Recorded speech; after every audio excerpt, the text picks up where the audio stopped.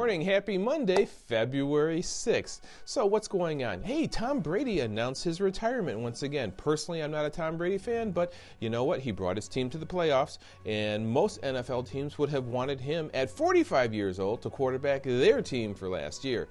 Anyway, uh, did you see the ice storms last week in Texas and Oklahoma? And I think uh, Tennessee had some bad situations too. About 400,000 people were without electricity. Hopefully, they have that power back. And uh, the Fed has raised its interest rates for the eighth time. What does that mean?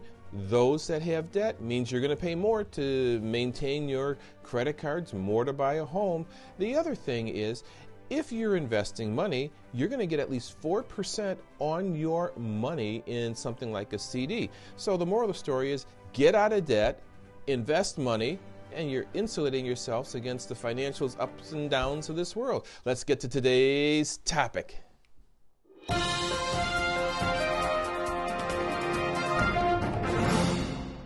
That's right. Today's topic is MOOP. It stands for maximum out of pocket on your health insurance. Um, a client called me a week or two ago telling me or asking questions about maximum out of pocket, and they called the insurance company. And the insurance company actually gave them the wrong information. Maybe they were just talking to a customer service rep. A claims officer at an insurance company would have known exactly what was going on. So let's look at what maximum out of pocket really is and how it's important to you.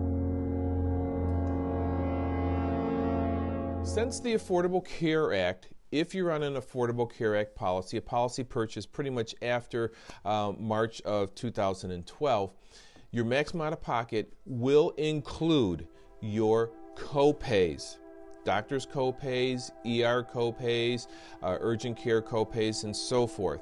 It will include your deductible and it will include the co-insurance. Oh, remember co-insurance? We spoke about that in last week's uh, video. So if you don't remember that, look up last week's video. Co-insurance is the percent you owe after the deductible until you reach what is called your maximum out of pocket. So your copays, your deductibles, your co-insurance, all that together can equal your maximum out of pocket. And that's at that limit there at which the insurance company is obligated to pay 100%. Or are they? Oh, it's your copays, your deductibles, your co-insurance equal your maximum out of pocket. But I haven't let you feeling too very confident, have I, on that? And I don't want you to be very confident on that because you reach your maximum out of pocket when you stay in network. Pretty much on PPOs. HMOs, you're out of network, no coverage. Plain and simple. If you go out of network, you can have a completely different maximum out of pocket. So you can have two max of pockets in network and out of network. But also out of network, pretty much they're going to look at it and say, what would the normal provider have charged if you're overcharged that, they're not even going to include those overcharges in it. So, once again, the moral of the story is stay in network. And yes, a maximum out of pocket in network is someplace around $9,100. Out of network, it can be the ceiling.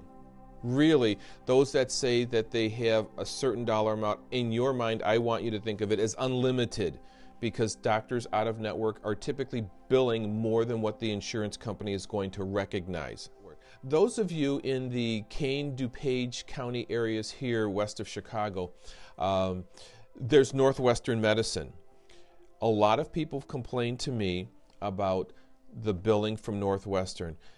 A lot of times you believe you're in network, they'll tell you you're in network but the bill comes that you're out of network. A lot of you've complained to me about how you've been treated for something that you haven't even been treated for. So, Northwestern, um, pay attention to that provider. Their billing is horrible, their coding is horrible at your expense because whatever is coded to the insurance company, that's what the insurance company is going to do. If you have problems with companies like Northwestern Medicine and you don't think you're being treated fairly, uh, and your out of pockets are running amok, contact the uh, Attorney General of Illinois and have them investigate this. Uh, contact Department of Insurance and have them investigate this. But I'm telling you, the insurance company with your maximum out of pocket is going to pay as the provider codes it.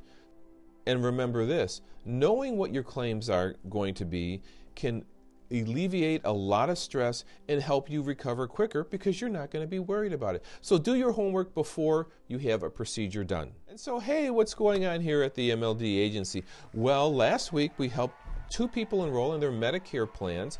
We helped two people get enrolled in their uh, health insurance policies. We also helped another two people get enrolled uh, with Medicare supplement plans. And believe it or not, we have been fielding a few phone calls based on our video a few weeks ago on Ambetter Insurance. So don't hesitate to give us a call to find out what's in your best interest. Our number is right there at the bottom of the screen.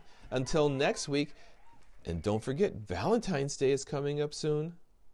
Take care.